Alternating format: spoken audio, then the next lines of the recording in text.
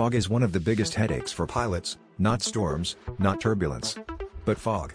It can reduce visibility to just a few meters, making it nearly impossible to land using visuals alone. So, how do pilots land safely when they can't even see the runway? That's where technology steps in, specifically the Instrument Landing System, or ILS.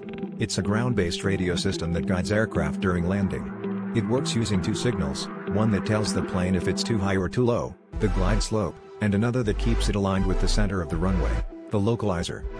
There are different categories of ILS based on how poor the visibility can be. Cat I allows landings when visibility is around 550 meters, Cat 2 works down to 300 meters, and Cat 3 can guide planes even when visibility is near zero. But not all airports or planes are equipped for the most advanced systems, and not all pilots are certified to use them. So if ILS is so good, why are flights still delayed during fog? Because a safe landing depends on three things, the airport must have a high category ILS, the aircraft must be equipped to use it, and the pilots must be trained and certified for it. If any of those are missing, it's not safe to land.